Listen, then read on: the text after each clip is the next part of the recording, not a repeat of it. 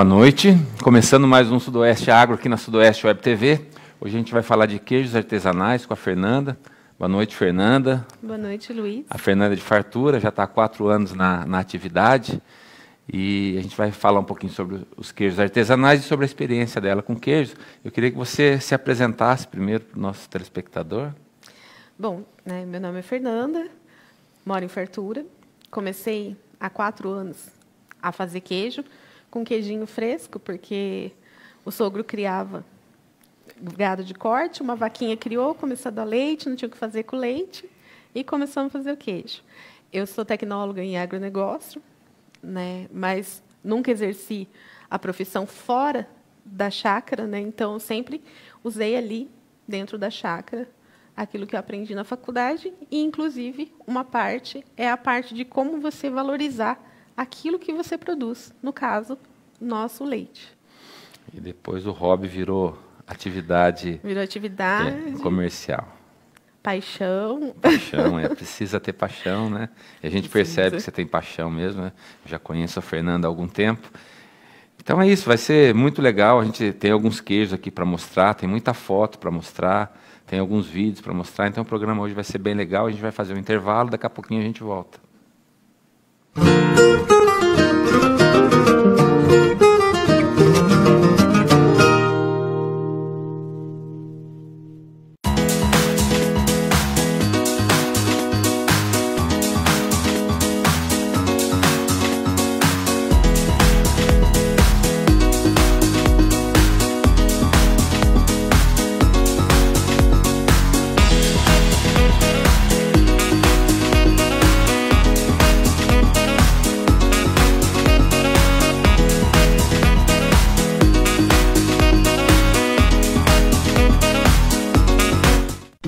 A faculdade que mais cresce na região. Estude perto de casa em uma instituição de qualidade formada por professores com mestrado e doutorado. Na FIT, o aluno tem aulas práticas, eventos, viagens culturais e visitas técnicas e ainda tem transporte próprio. A FIT oferece a alunos e professores toda a infraestrutura necessária para o ensino de qualidade e o aluno ainda pode financiar o seu curso através do FIES FIT. Não fique sem estudar. Venha para FIT hoje mesmo e agende sua prova pelo telefone 14 99769 2702. Não fique de fora, vem para FIT. Sabe aquele enfeite de jardim que você sempre sonhou? Agora você pode. A SCN Serralheria Móvel faz para você. Se seu portão quebrou, chame a serralheria até a sua casa. SCN Serralheria Móvel, a novidade que chegou em Piraju. Serviço de qualidade feito no local, sem transtornos para você. Realizando seu serviço na SCN Serralheria Móvel, você também colabora com o projeto social Anjos do Amanhã. SCN Serralheria Móvel. Telefone 14 99606 2171. Fale com o Silvio. Pensou em construir ou reformar? A Mabraco é a solução. Com mais de 45 anos no mercado atendendo Piraju e toda a região. A Mabraco Materiais de Construção tem um enorme prazer em tornar realidade o sonho de muitos brasileiros. Uma equipe treinada e qualificada para melhor atender você, do básico ao acabamento. Mabraco, onde tradição e confiança se juntam para formar uma equipe capacitada e treinada para melhor atender você. Trabalhamos com as principais marcas do mercado e as mais diversas formas de pagamento. E certamente uma delas irá atender melhor você. Mabraco, na Avenida Humberto Martione, 309, em Piraju. O nosso telefone é o 14 3305 9600. Fale com a nossa equipe e traga o seu orçamento. Mabraco, em Piraju. Quase meio século de confiança e qualidade. Você sabia que agora você pode comprar brinquedos em Piraju e região pela internet e receber em casa? Isso mesmo, é porque chegou na cidade a Google Kids Brinquedos. Os melhores produtos com preços imbatíveis. A criançada vai adorar. Google Kids Brinquedos. Entrega sem custo em Piraju e frete a combinar na região. Ligue agora mesmo. Google Kids Brinquedos. Ligue agora ou mande um WhatsApp e receba o seu pedido em casa. Google Kids Brinquedos. A solução que faltava em Piraju.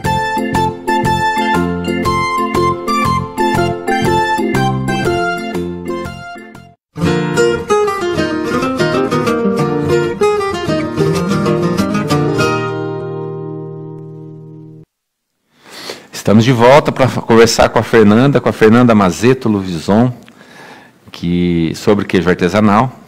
Então, Fernanda, vamos, vamos começar do começo, né? O que que o que, que uma pessoa que gosta de queijo tem? Como é que é o começo para uma pessoa? Onde que busca conhecimento? Como é que como é que é o caminho inicial para quem quer trilhar por esse caminho? Então, eu já tinha uma noção, né? Trouxe uma noção já da faculdade e tinha uma pessoa que eu conhecia que fazia, então mais ou menos eu sabia fazer o queijo. Né? Mas quem me deu uma noção, quem me deu um norte, né, foi uma instrutora do, do Senar, a Marta, que ela veio através do Sindicato Rural de o Fartura. curso de processamento curso artesanal de, de leite processamento do artesanal Senar. de leite do Senar. Então eu conhecia o frescal o básico do básico. Né? Sabia fazer um requeijãozinho de corte, de, de copo, mas eu queria requeijão de corte, queria mussarela, queria curado, porque queria fazer algo diferente, não queria fazer Sim. aquilo que todo mundo faz. Então, isso foi muito importante. Então, ela me deu um norte, ela me deu uma base muito boa, é, não só ali no curso, mas em conversas, né, porque ela sabia que eu já fazia. Então, ela falou: olha, faz assim, sabe? Ela foi me dando algumas dicas que foram preciosas e são até hoje. Depois eu fiz um segundo curso com o Mário Fumes, através também do Sindicato Rural, Mário Fumes é de Botucatu, em parceria com o Sebrae. Né? Foi lá em casa o curso também. Foi riquíssimo. Foi a parte que eu aprendi o curado. Né? Eu praticamente esse curso eu comparo com uma aula dentro de uma de uma faculdade, porque o conhecimento dele é muito grande. O, a gente pode dizer que é, a produção de queijo é uma coisa simples para fazer os básicos, mas ela é complexa conforme a gente sim, vai. Ela é complexa conforme você vai fazendo, porque por mais artesanal que seja, ah, eu quero fazer um queijo curado. Então, eu não vou pegar um queijo fresco e vou deixar na geladeira e ele vai se tornar um queijo curado. Não, ele segue todo um processo, um processo que começa lá na sua ordenhadeira, que começa lá, independente se você produz o leite ou se você compra o leite, tem que ser um leite de total higiene, principalmente Sim. por se tratar de leite cru. Né? Então, a higiene é acima de tudo. E, assim, é, hoje, você querendo ou não, você tem que conhecer tecnologias novas. Porque as pessoas falam assim, não menosprezando, pelo amor de Deus, o queijo de Minas. Eu amo Minas, fui fazer curso em Minas, tenho amigos queijeiros em Minas, maravilhoso. Mas as pessoas falam assim, quero queijo de Minas. Daí você tem que explicar para a pessoa que cada queijo tem o seu terroir, né, que é o sabor ali, as bactérias que crescem né, no teu pasto, é a raça da tua vaca, né, a qualidade do teu leite, quantidade de gordura. Então, realmente, você tem que conhecer, você tem que buscar sempre conhecimento. Eu acho que isso não é só no queijo, mas isso é em qualquer coisa na vida. Né? O conhecimento acima de qualquer coisa. Você ir buscar informações. É, eu fui fazer um curso em Piracema, em 2018. Porque, através do Mário, aí eu conheci alguns fermentos é, industrializados, porque todo mundo, eu quero queijo de buraquinho, quero queijo de buraquinho, são queijos de olhaduras, né? Então, até a gente brinca assim, não, vou pegar a mão suja, vou lá passar a mão na vaca e vou colocar no leite, você vai ter um queijo de buraquinho. Então, a gente foi, né, conheci o Marcos na Ricanata, que é uma pessoa assim espetacular também. É, Piracema foi o divisor de águas para mim. É, não só Piracema, mas com a visita que a gente fez na Serra da Canastra para alguns produtores. Então, a gente foi em pessoas assim, simples que é retireiro, que o patrão dá o leite que sobra da ordenha e ele faz seu queijinho, como pessoas igual o Zé Mário, que é um ícone né, no, no queijo, em Minas. Queria ter ido na queijaria do Ivair, também não deu tempo, mas assim, você aprende muito com a simplicidade. Eles Você percebe usam... que eles não têm nada que a gente não possa ter. Exatamente. O conhecimento é muito grande, né? E a luta também é muito grande, porque é, eles fizeram uma luta muito grande para conseguir fazer o queijo da canastra ser o que é hoje. Não só ele, como vários produtores, né, se uniram. Hoje tem a Poclan lá e eles se uniram e conseguiram é, manter a sua tradição no fazer, o saber fazer. Né? Então, o queijo é reconhecido. Você podia falar um pouquinho rapidamente sobre o, que, que eles fizeram lá? Eles padronizaram. Isso, eles um, padronizaram um tipo de um queijo tipo para todo mundo fazer igual, para criar é, uma identidade isso, nacional. Isso, é a mesma receita. O mesmo queijo que o Zé Mário faz, o Ivair faz, todos os produtores fazem, né, ali na isso. Serra, né, nos municípios da Serra da Canastra que são reconhecidos. É o mesmo modo de fazer, apertado manualmente. É, antigamente eles podiam usar madeira para poder a mesa de madeira hoje não tem que ser ardósia, mas eles podem usar a prateleira de madeira, que é muito importante, que para nós aqui já é madeira nem pensar, nem inspeção. Não, existem regras existem que regras podem lá e não que pode podem aqui, lá né? e não pode aqui, né? É tempo de maturação também. Então agora também eles buscaram tecnologia, né? Trouxeram da França, se eu não me, se eu não estiver enganado, se eu não estiver falando besteira, é, um selo de caseína. Cada produtor tem seu número, então tem a rastreabilidade. Então eu comprei um queijo da canastra, eu sei quando foi feito, quem fez. Então é mais uma vez a tecnologia junto com o artesanal melhorando, né?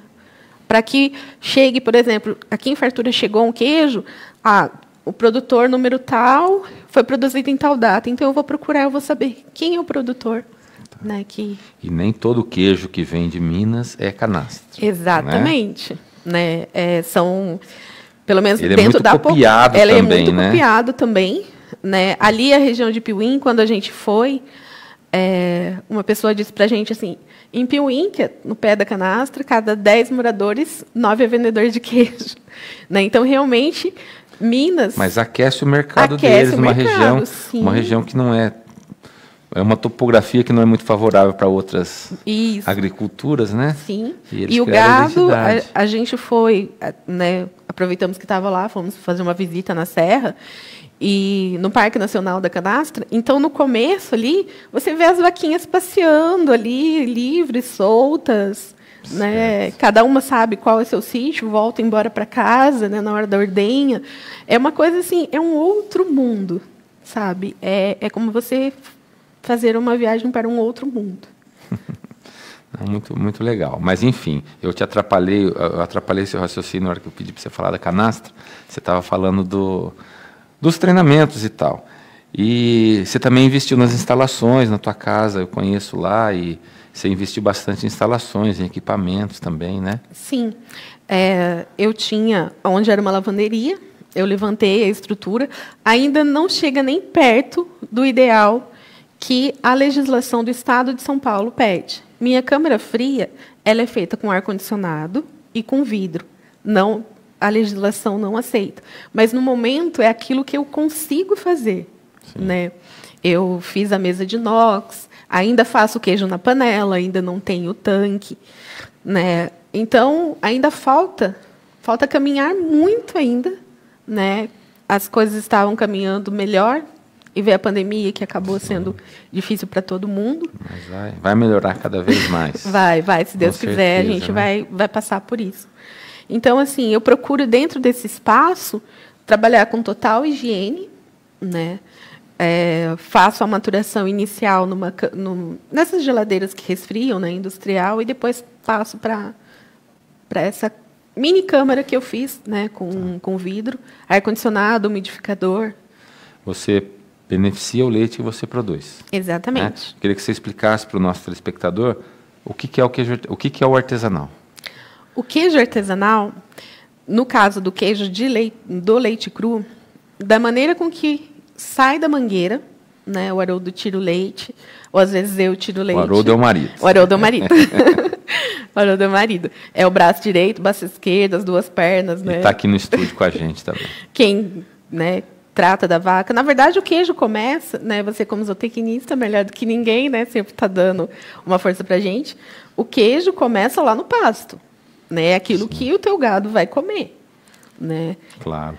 E, e, mas assim, é importante, é importante reforçar para o nosso telespectador que a produção de, de queijo artesanal é para produtores que produzem leite e beneficiam Sim, seu, seu leite. leite. E aí, pelo menos 50, é, pelo menos é, o produtor tem que usar 100% do seu leite e mais pode comprar no máximo 50%, é isso, né? Isso. Né? Eu agora não sei te dizer certinho, porque se, se teve alguma alteração, é, se teve né? alguma alteração, porque é, quando era o queijo artesanal na legislação, né?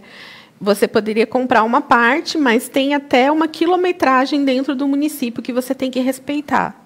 E é, o queijo artesanal, dentro da legislação, é, antes de, né, de arte, era 300 litros. Você só poderia processar. Até porque, para processar mais de 300 litros, ele acaba, e você acaba precisando é, de prensa um pneumática de, e outras coisas, você deixa de perde um pouco de seu artesanal. Produzido né? na, própria, na própria casa, pela, pela própria família. Pela própria né? família. É, o queijo, ele, você traz o leite, você faz, coloca o coalho. Aí você depende do que você quer fazer. Se você vai fazer uma mussarela, cada queijo tem seu processo. Eu pessoalmente procuro fazer da maneira mais artesanal possível né, o requeijão, eu deixo o leite coalhar sozinho, eu lavo ele no leite, vou lavando a massa no leite. Como eu como eu assim, eu aprendi até mesmo no curso do Senar, que ele já ensina de uma outra maneira que já é mais voltada para que a legislação pede, mas eu procuro fazer a receita lá de trás, né? Manter a tradição manter da a tradição receita, né? da receita.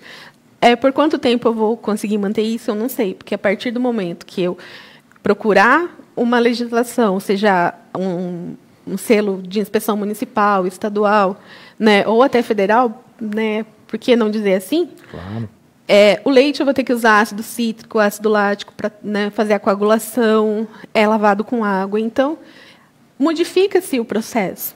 Mas mesmo com tanta tecnologia hoje, tem muita gente, principalmente no estado de São Paulo, dentro da PQA, que eu posso falar porque eu conheço. A gente vai falar bastante dela no próximo bloco, né? mas pode falar. Então, assim, existem muitos produtores, né? Associação é... Paulista do Queijo Artesanal, que é uma estrutura que está sendo é, que já, já, está montada, mas para que para dar um norte para que todo mundo tenha Sim. amparo e todo mundo tenha as suas demandas atendidas de forma de forma estadual, né? O, Isso. O, é, assim, dentro da, né, dentro da PQA, que eu, os produtores que a gente conhece, existem é, grande, grandes produtores, assim, tem alguns que eu sou fã de carteirinha, né? Eu falo assim, o povo é fã de futebol, eu sou fã de produtores de queijo, né? Como o Lucas, como o Diego, como a Maristela.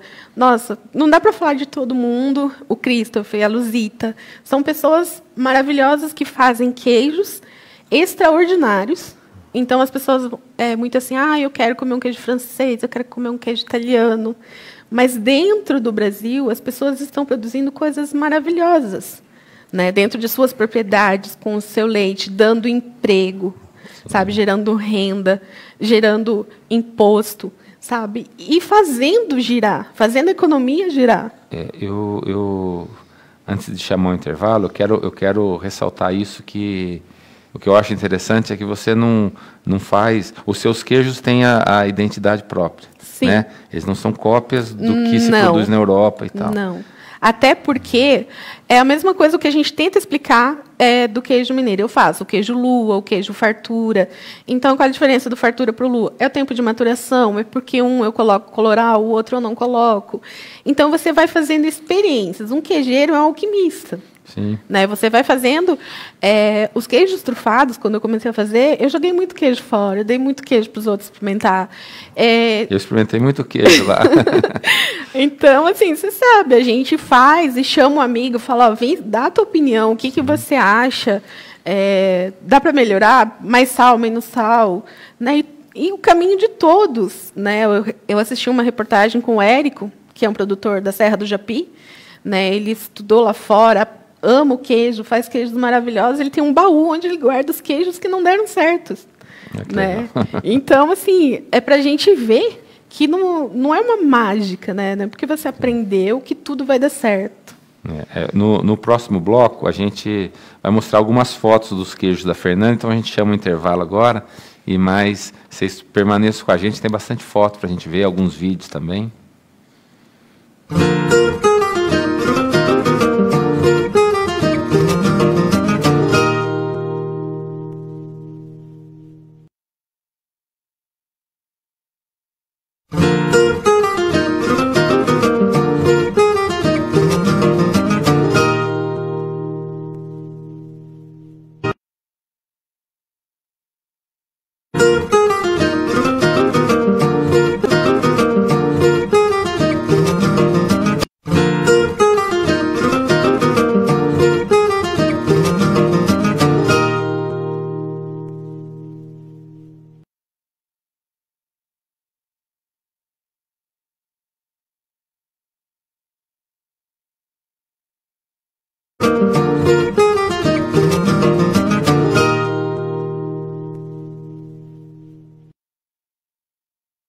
Já estamos de volta, conversando com a Fernanda. Então, Fernanda, a gente estava falando sobre essa identidade, né? E você, você fez alguns vídeos que a gente, a gente compilou aqui. Eu queria pedir para a Dani soltar os vídeos e que a Fernanda fosse fazendo alguns comentários em cima dos vídeos. Então, esse daí é um. O primeiro é um queijo trufado. Essas né? são as fotos. Essas né? são as fotos. É um é. queijo trufado, é, é um queijo fresco é, com tomate seco e ervas. Daí também vai de acordo com o gosto do cliente. Tá, vamos passar. Aí é o processo do requeijão. Olha que delícia. Né? Olha que ele está quente assim, é, né? Na verdade, eu faço o requeijão de raspas. Então, essa é uma parte do processo, seria até a parte que as pessoas normalmente fazem. Mas eu tenho um pulo do gato que eu volto ele para a panela. Deixa ele queimar um pouquinho, e, raspa. É, eu deixo aquelas raspas queimando, tiro, acrescento mais creme de leite, mais manteiga, incorporo e a gente tem um requeijão de raspas. Vai deixar o pessoal curioso. uma manta de mussarela recheada com goiabada. Né, foi uma experiência. Isso daí é uma barca. Né, é, são as mussarelas que eu faço. São, a maioria são todas recheadas. Inclusive, é, falar de um grande amigo do Fernando Boronelli, lá de Fartura, que faz defumados maravilhosos. Vamos trazer ele aqui né? também. Ele faz a copa, o salame. Então, a gente sempre procura fazer...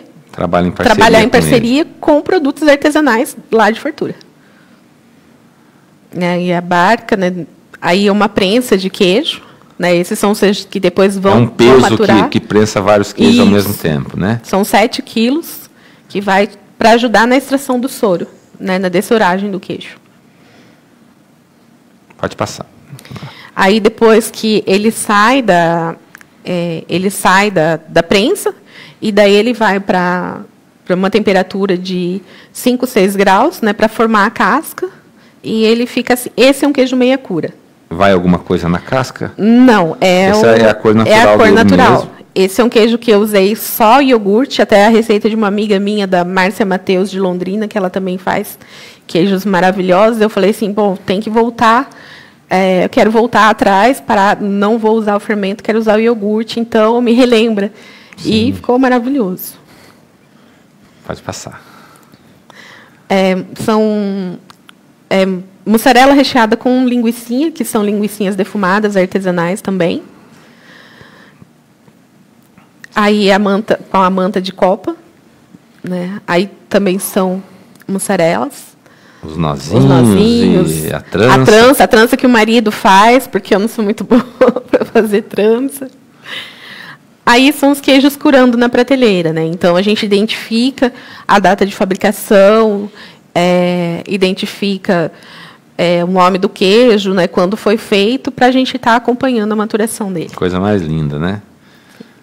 Pra gente que gosta, isso aí é ó, Esse foi um queijo que eu defumei, né? Um queijo que foi uma experiência também, foi um um queijo, queijo defumado. curado. Isso, defumado. A gente não falou ainda, mas você fez o curso da Feira, Feira do do Produtor Rural, Rural, né? sim. E, e participa das, das feiras lá em da Fartura, feira. né?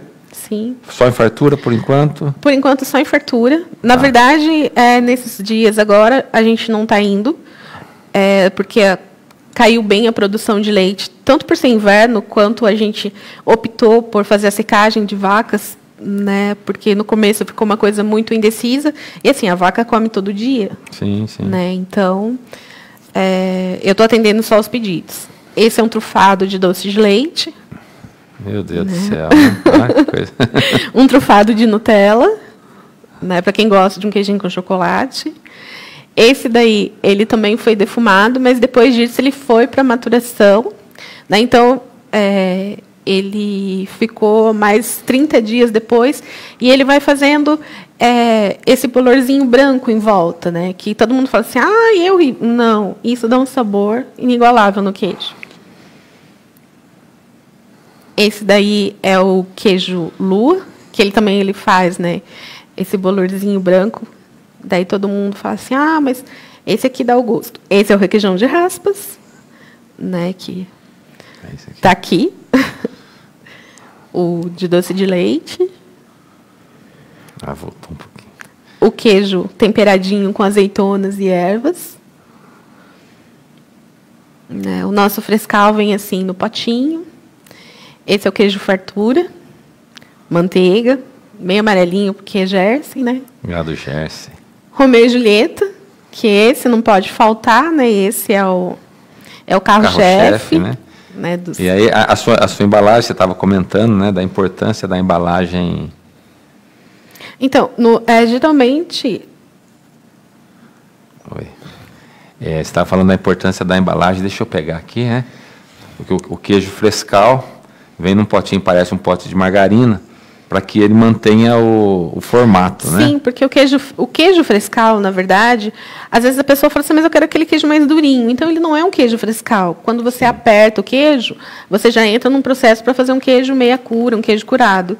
Então, o queijo frescal, é, desde a mexedura, é muito leve e ele, você dentro do potinho, ele não deforma, não tem perigo de, né, de, de mantém, sujidade, sim, claro. né? E ele mantém A Fernanda trouxe uma, uma barca aqui de, das mussarelas dela, que ela mostrou. Uma embalagem aqui com o queijo nozinho. E esse é o requeijão de raspa. Então ela trouxe algumas, algumas amostras aqui que, infelizmente, vocês não vão poder experimentar. Mas depois a gente vai deixar os endereços da Fernanda. A Fernanda é muito solícita. Sempre me recebe muito bem e sempre recebe as pessoas lá muito bem. sempre intervalo. Não, não, é, é, entrou ali. A gente está aqui ainda. Oi, voltamos. É, a, a Fernanda é muito solista e tenho certeza que ela está à disposição para quem tiver interesse de conhecer a propriedade dela, conhecer os queijos. Então, a gente vai deixar os endereços dela aí depois.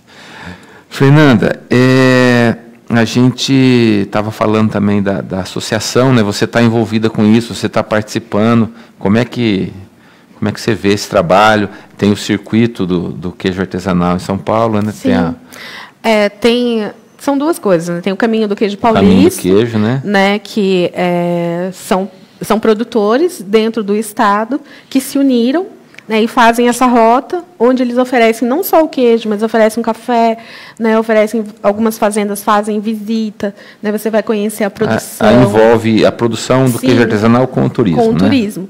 E a PQA, né, a Associação né, do Queijo Paulista, ela realmente abraça, sabe, o produtor. Então, existem pessoas dentro que, se você eh, for falar só de um, você acaba sendo injusta. Mas eles estão eh, dentro procurando fazer é, trazer para a gente de uma forma simplificada a legislação, principalmente celuarte. Agora está fazendo uma parceria é, para que, se eu não me engano, com a PUC, é, eu até te mandei a foto, para que exija, é, faça-se análise do queijo, né? Ah, sim, uma parceria com a USP com a USP para fazer o para trabalhos científicos Isso. visando visando essa essa melhor, um melhor aproveitamento e uma segurança alimentar para que esses uma queijos... segurança alimentar, do, principalmente do, do queijo que é feito de leite cru, do queijo maturado, né? Porque infelizmente aqui no estado de São Paulo, é, não se falando de política, mas é muito paternalista com as indústrias. Então, o pequeno produtor sempre é deixado de lado. E a PQA abraça o pequeno produtor, ela sempre está lá dentro do mapa, ela está procurando formas dentro do Ministério da Agricultura para ajudar, para trazer as informações, mas para lutar também pelo pequeno e, produtor. E junto junto está a Abra Leite, junto está a Federação da Agricultura, Sim. né? Então é, ganha força para brigar pelo interesse Sim. do produtor de queijo, Sim. né? É, existem pessoas lá dentro assim que eu conheço pessoalmente, como o Vander, né, que é uma pessoa uhum. Maravilhosa que o Vander, o Vander deve ter três ou quatro Vander, ele está em todo lugar, em Não, todas as reuniões, é... representando a, a, pecuária do estado, né? Sim, ele, é. nós vamos falar depois do evento que vai ter amanhã, que ele está organizando. No, no, final do programa a gente vai falar da live que ele vai que ele vai promover. O Vander é o coordenador da comissão de leite da Faesp e é um é um batalhador também da, da atividade, né? E a gente tem, tem essa, essa ligação direta. As reivindicações que a gente tem, a gente pode fazer Sim. direto para ele. Isso é, é importante, né, Fernanda? Sim. É, e existe também toda uma parte, é, igual o Lucas ele faz, né? Você manda uma foto, ele melhora a tua foto, né? Coloca, faz, faz um marketing, né? Para você. Então você tem é, e assim as conversas pessoais. Você faz amigos, é, que nem tem uma pessoa que eu gosto muito, não conheço pessoalmente, mas é o Diego, da Queijaria Jeito do Mato. Assim, ele faz um requeijão. Isso a pandemia nos trouxe, isso a tecnologia nos, nos trouxe. Né? trouxe. Né? Hoje a gente pode ter contato com pessoas que a gente não conhece pessoalmente. Sim, e assim, é, uma vez eu postei a foto de um queijo, ele mandou mensagem: olha, esse queijo, acho que tem alguma coisa assim, assim, assim. Então você cria uma família, Sim. sabe? É, onde você não tem só Todo esse mundo apoio. tem as mesmas dificuldades que a gente, Sim. ou já teve essas mesmas dificuldades, Sim. né, Fernanda? Você vê os caminhos, é, você coloca lá. É, pergunta, olha, estou precisando de alguém para fazer um projeto, né? Então tem, eu falo assim, é uma grande família, é assim como eu vejo. Inclusive, a Associação Paulista do Queijo Artesanal, ela está recrutando artesãos, artesãos, do queijo. Sim. Então, se você que está assistindo é, é produtor, de queijo artesanal ou pretende ser, você já pode se associar e já pode começar a se inteirar desses assuntos. O pessoal é receptivo. Eu, eu a, através da Fernanda, eu já estou fazendo parte do, do grupo de WhatsApp. Eu sou um futuro produtor de queijo, porque eu ainda não faço. Eu produzo só o leite, mas eu tenho essa, esse sonho também. Sim. E é, é, porque é a vocação da família. Meu avô vendia queijo e tal. E eu tenho essa vontade de fazer. Então é muito importante que se busque essa, essa, esse fortalecimento da Associação Paulista. Então a gente convida todos os produtores, quem quiser, é, deve, deve ter na os página, sites na tal, página do página, Facebook, mas ou, então, ou então procura a Fernanda, que a Fernanda passa toda todo o roteiro para se para se fazer, né, Fernanda? Sim, e assim você faz a inscrição, né? Alguém sempre entra em contato com você e ali você tem é, você tem todo um apoio e você tem a certeza que existem pessoas lutando a mesma luta que você. Sim. Né? Independente se a pessoa hoje tem um CISB artesanal, se ela tem um SIM, se ela tem um CIF, igual muitas pessoas têm, você é tratado da mesma maneira, com o mesmo respeito. Né? E a gente sabe que a luta é muito grande hoje, dentro, principalmente dentro do nosso Tem muita estado. coisa a ser feita ainda. Sim. Né? É, queria reforçar também que é, tá, tá, estão se abrindo portas através dos consórcios Sim. de municípios e que a gente aqui em Piraju, é, através do Sindicato Rural, a gente tem buscado a ANVAPA, que é a Associação dos Municípios do Vale do Paranapanema. Por conta da pandemia, a gente teve que dar uma estacionada, mas a gente foi conhecer em Andradina como é que funcionava, trouxe material, né? O Lair da, da, da Anvapa tem, tem trabalhado em cima disso. Então, eu acredito que nos próximos meses a gente vai ter muita coisa boa acontecendo para a nossa região. Né? Porque a gente precisa se organizar. A gente tem muita gente boa que ainda está espalhado, que a gente precisa juntar todo mundo para remar a gente tem que abra abraçar todo mundo para todo mundo remar junto, sim, porque sim. cada um remando sozinho, uma hora sempre alguém se afoga. É. Né? Assim, é, puta, o, o, o, assunto é, é, muito gostoso e tem muita coisa para a gente falar, Fernanda, mas o nosso programa é curto, então eu queria pedir para a Dani para a gente soltar os vídeos para Fernanda, para Fernanda fazer os comentários e a gente poder encerrar. É, aí é um queijo trufado, é, trufado com geleia de morango. Então, é, eu procuro fazer o mais, o mais artesanal realmente possível. Compro o queijo, é, compro o, morango de uma produtora né, que trabalha na feira junto com a gente, faço a geleia. É, e de vez em quando a gente posta esses, né, esses vídeos no Facebook, o pessoal fala que a gente deixa eles babando. É para tentar é mesmo. É para tentar né? mesmo, né? A gente fazer um, um marketing. Então, esse, inclusive, isso foi no começo, um dos primeiros queijos que, que a gente fez. Ah, esses vídeos você já tinha. É, então. É, isso, eu já tinha. Né? O que eu gravei agora, por último, foi de um processo de produção do requeijão. Esse é um de tomate seco. Para deixar o pessoal, quem não jantou ainda, com. É, e que tem, que tem um monte de segredos, né? Com um monte de macetes que a gente aprende por é. tentativa é. e erro, né? Sim. Esse é o processo do requeijão. Então, aí é a lavagem no leite, né, que você vai lavando você faz ele, a massa e vai lavando. A massa no... e vou lavando né, no leite até parar de, né, vai de sair leite, o som. Vai leite, bastante vai leite. Vai bastante produzir, leite. Né? Aí, de vez em quando, né, as pessoas ainda fazem, maldosos, fazem aquele muito. A vaca vem junto, fala, não, mas vem muito trabalho, Sim. né, muita força, muito esforço. Né? Então, aí já é a parte final, depois que eu tirei né, aquela parte branquinha, então você vai adicionando manteiga e creme de leite né, e faz. Para fazer a raspa. Para fazer a raspa. Para fazer a fritura do, não é um trabalho artesanal lindo e que precisa ser valorizado. Sim, né? Aí é fazendo as raspas, né? E isso dá um trabalhão para lavar depois. é, eu, eu imagino.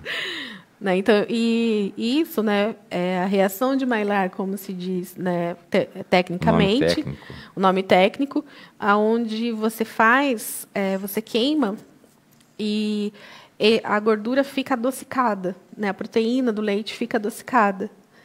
Olha que coisa linda, né? Então, essa é a primeira parte do primeiro processo, que muitas pessoas tiram o requeijão. Né? Esse vídeo é de um, do curso que a gente fez em Piracema, né, que a gente foi buscar. Essa máquina você não tem ainda? Não, esse é um tanque né, de, de camisa dupla que você pode pasteurizar ou né, os queijos que você vai fazer curado, né, que você precisa aquecer a massa, então você já faz ali. Esse é o Marcos, né? Até no dia ele tinha feito uma cirurgia na mão, mas mesmo assim teve, é, não cancelou o curso, né? Ele falou não, não vou fazer isso com vocês. Fazer tinha gente de Santa Catarina, de Pernambuco, de Goiás. Ele falou não, vocês não vão voltar. Eu vou fazer o e esse que tem o site que vende os produtos Isso, também. o site né? da Ricanata, os fermentos da Ricanata. Que é o Ricanata, que a gente encontra tudo que precisa para fazer Sim. queijo lá, né? Até mesmo o coalho, tudo é eu uso tudo de lá. Tá, não, muito, muito legal. Muito, parabéns, Fernando. Seu trabalho é, é realmente um trabalho incansável e muito, muito bonito. E quem tiver interesse, que procure a Fernanda. O endereço do Facebook dela está aí. E eu queria aproveitar, Fernanda, antes da gente encerrar, para convidar o pessoal para o evento de amanhã. Eu não sei se a gente tem o, o aí a foto. Amanhã às 19 horas, os, os grandes especialistas no queijo artesanal vão estar reunidos em uma live. Então tá aí. Inclusive o Christopher, né, que ele, ele é o presidente da PQA. O presidente da PQA, o Vander. O Vander. Então vai ser é um, é um evento imperdível para quem tem interesse no queijo artesanal. E Fernanda, eu queria que você fizesse as suas considerações finais também. Queria agradecer muito a sua presença. Foi, o, o programa foi muito bom, muito legal. Eu, assim, não tenho palavras para você, né? por estar tá abrindo espaço, não para a gente falar do queijos da fazenda, mas para a gente falar de queijo, né? Para a gente falar de uma luta que é muito grande dentro do estado de São Paulo hoje, que tem um potencial muito grande para se, né, para crescer. E eu espero que todos aqui da nossa região, porque assim eu tenho muitos amigos que fazem queijos, ótimos queijos, não só em fartura, taquarituba, é, a gente tem seu Acácio, que faz um iogurte maravilhoso, que eu, eu não posso ficar sem falar da família Sim, dele, que claro, tem uma luta claro. lá de trás. Que... Seu João de Góes, Sim, né, é, que tem... faz... Existem muitas pessoas que fazem queijo muito bom. O Rubão, em Taquarituba, né, que está que tá fazendo. Pessoas como a Dani, que é veterinária, que está tentando ajudar a gente também nessa luta. Sim, aqui então, em Piraju tem o Galhardo, aqui em Piraju tem o Nilton Ribeiro, em Cerqueira César, o Tiago, em Timburi, o, o Braquiara, então tem o Rafael, então tem muita gente fazendo, né? Sim, tem muita gente lutando, buscando. E, e me, me causa um certo constrangimento até de chegar no mercado, a gente encontrar queijos importados, a gente encontrar queijos de Minas Gerais, e queijos industriais e muito pouca coisa Nossa. artesanal da nossa região. Então, quem sabe isso possa mudar Sim. num, num curto espaço de tempo, né, Sim, num Fernanda? futuro breve que isso mude, que, que as pessoas conheçam. Porque, assim, é, eu falando assim rapidamente da feira do produtor rural, né, até mesmo da feira da lua, o pessoal vem e fala assim: "Nossa, mas eu não sabia que aqui tinha esse queijo. A gente não acha esse queijo". Mas sim, tem, existe, tem aqui, a gente também tem, né? Então a gente precisa se unir para crescer junto. Ah, mas quem né? Quem, quem viu as fotos vai te, vai te procurar, pode ficar tranquilo. tá bom? Obrigado, Fernanda. Obrigado, Haroldo, que está aqui no estúdio com a gente. Obrigado a Dani Bessi, que, que comandou o estúdio hoje. Boa noite e até semana que vem.